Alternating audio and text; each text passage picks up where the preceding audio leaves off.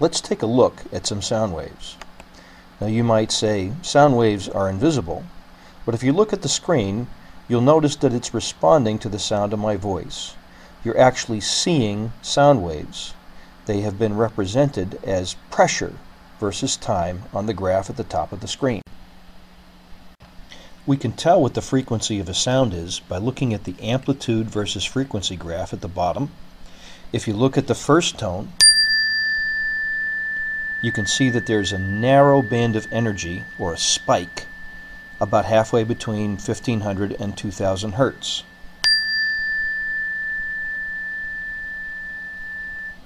The second chime produces a spike at just over 2500 hertz, and the third chime has a spike right at 3500 hertz. That is the frequency of the tone. Notice that my voice has very different frequencies. There are more than one frequency at a time, and the frequency that my voice produces depends on the pitch of my voice. If I make a high pitched noise, you can see the frequency goes up. If I make a lower pitched noise, you can see the frequency goes down.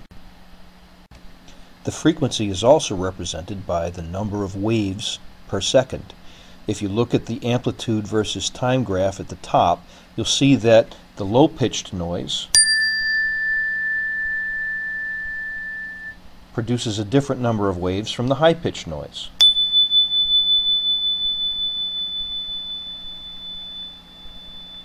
You can see that the relationship is directly proportional. Low pitch, low frequency,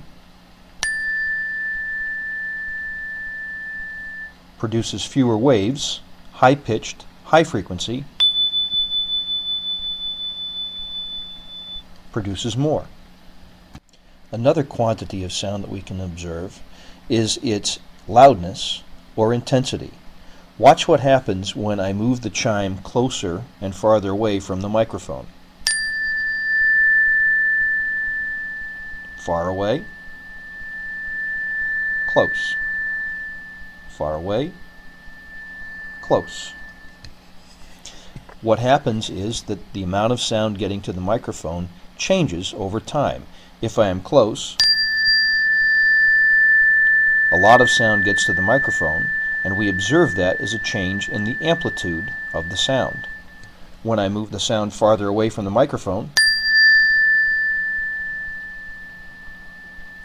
less sound gets to the microphone, and the result is less amplitude, less sound intensity. You can't see it on the screen, but I'm holding a tuning fork in my hand. It's about 11 centimeters long, about 4 inches, and it has a very particular frequency. If you look at the frequency display, you can see that it has a frequency about halfway between 0 and 500 hertz. Specifically, it's 256 hertz this corresponds to the musical note C or middle C. Next I'm going to try a tuning fork that's smaller. This one is only about 8 centimeters or 3 inches long and it has a very different frequency. You can see that its natural frequency is just above 500 hertz. This is one octave above middle C the frequency is 512 hertz.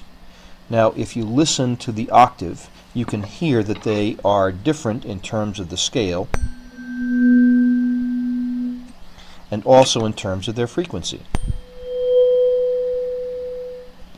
The relationship in musical terms is an octave. The relationship in mathematical terms is 512 divided by 256, which is about 2 to 1. An octave in music is a 2 to 1 ratio in frequency. The frequency of the sound coming from this tuning fork is 512 hertz. The speed of sound here in the room is 344 meters per second. Please use your relationship between wave speed, wavelength, and frequency to calculate the wavelength of the sounds coming from the tuning fork. The last sound we're going to take a look at today is the sound of a test tube stand being hit with a chime mallet.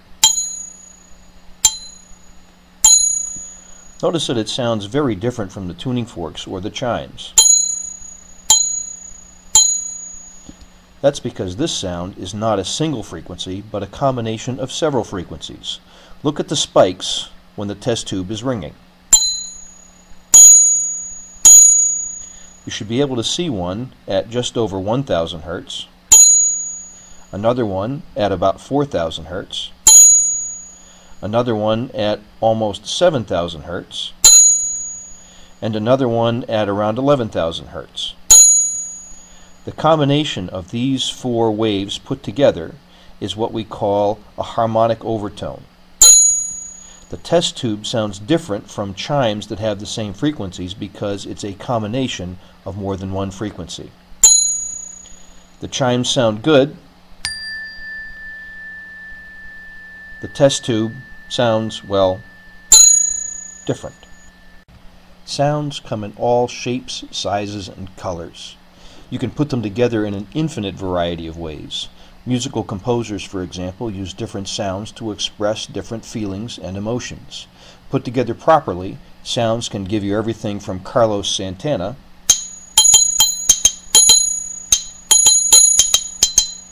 to Richard Strauss.